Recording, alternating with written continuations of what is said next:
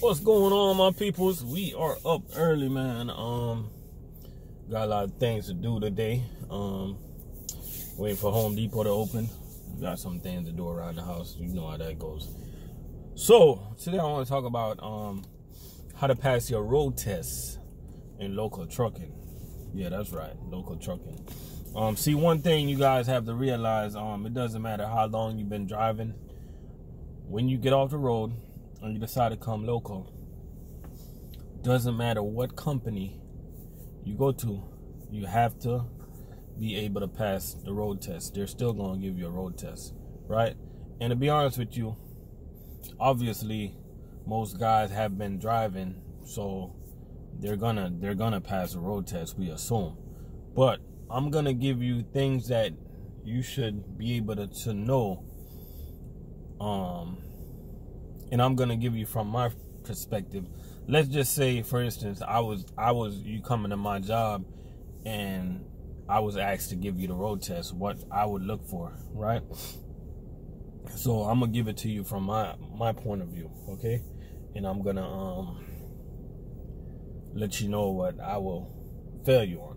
And I'm not gonna fail nobody. I'm just gonna be honest with um a supervisor. I'm gonna be like, yo, I'm gonna be like, yo, um, that guy right there, um, it's up to you guys, but he can't drive.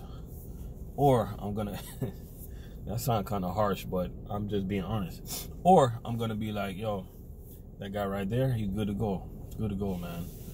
Or I might take it one step further.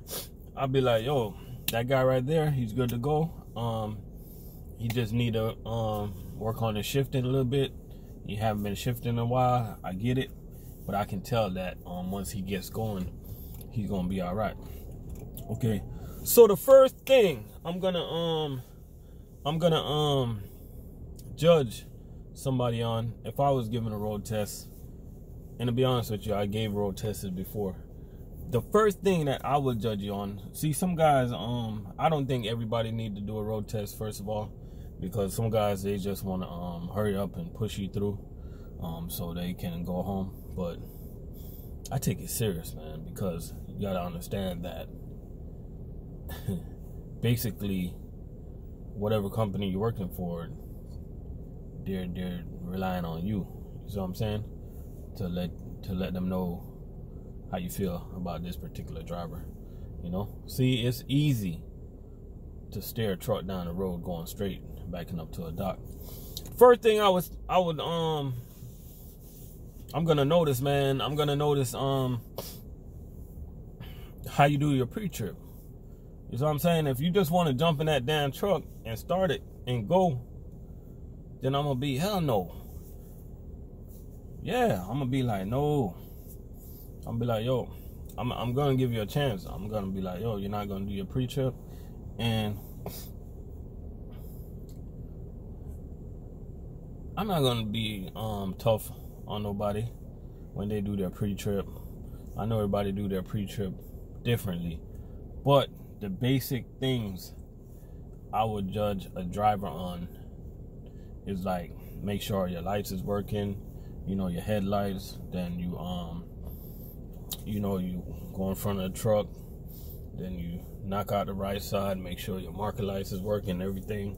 Um, open your door, make sure your fire extinguisher is fully charged. Um, being able to identify your um your cab card, your insurance card, and your registration and um then walk around the whole truck man. Make sure the tires is good.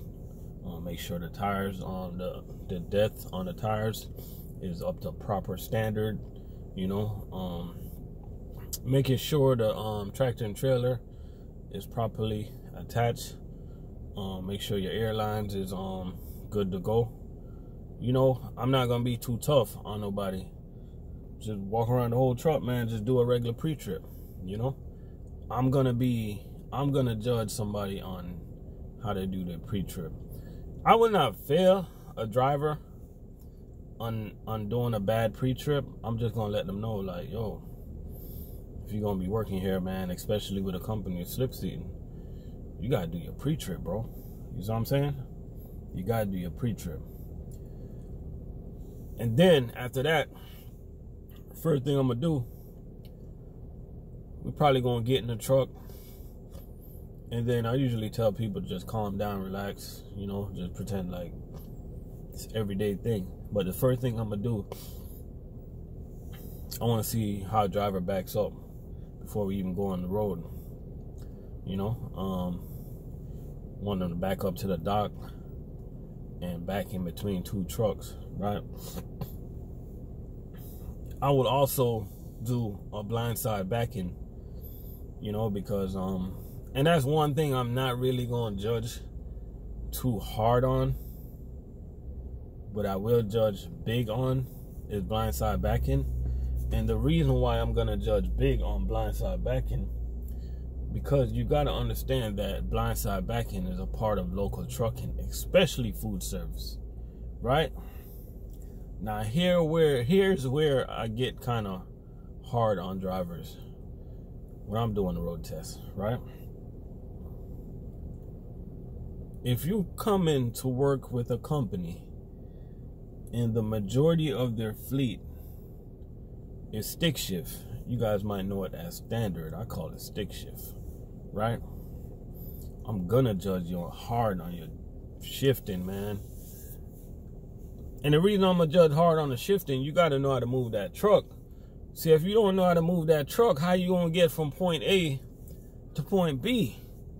It's just not gonna happen. So if you can't even make that truck move on shifting, then I'm gonna be like, yo, we can't go on. And if you're gonna sit there and ask me, um, can you do it in an automatic truck? I'm gonna be like, yo, but majority of the fleet is standard. I mean, most companies not gonna make a special case for you to drive an automatic every day, especially when slip seating is involved. So I'm gonna be huge on that. So I just let the supervisor know. I'm like, yo, we can't go on. This person can't shift. We can't I'm laughing now because this happened before. We can't even get out the gate. We can't even move the truck. All right. All right. The next thing I'm gonna judge a driver on is, and this where I this where I go kind of easy though.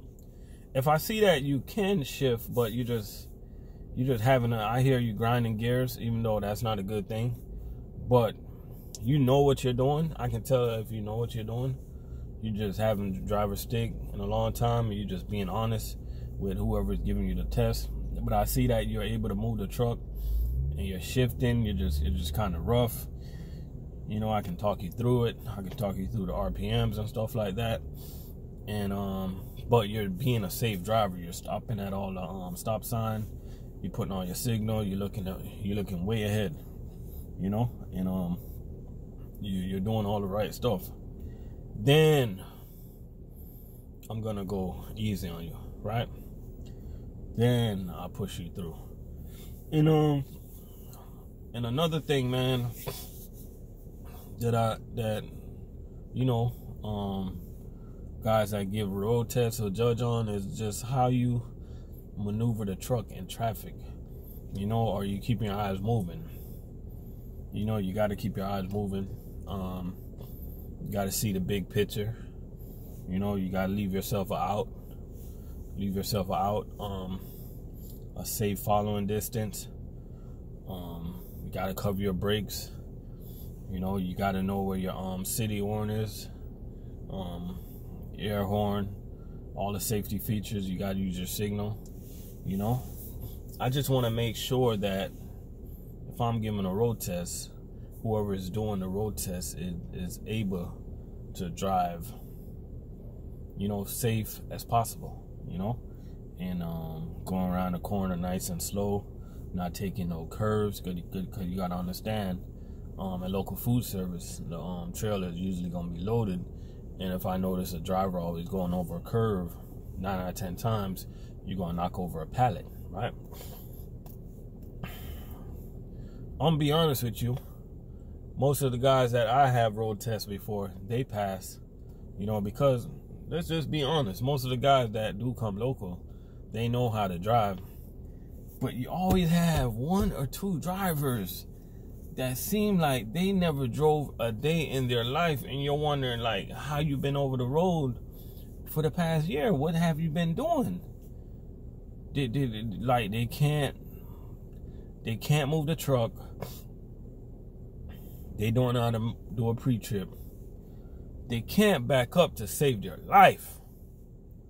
Now that's when I'm gonna be like, you know what?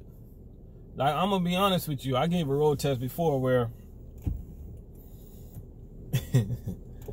it's like as soon as you get in the truck, like the driver for the driver don't even let you feel safe. I'm thinking to myself like, oh no. Don't put on your seatbelt. They can't shift. They want to look at the shifting um diagram. Like, hold on, give me give me a second there. Let me look at the shifting diagram. Is this a Super 10? Yes, a Super 10, sir. Do I have the double clutch? Just move the truck, sir. You know what I mean? All the damn questions. I never drove a Freightliner. Um, that's your problem, sir. You gotta drive this Freightliner today. I never drove these internationals. I'm like, hey, a trucker, a driver is a driver. So you know, um,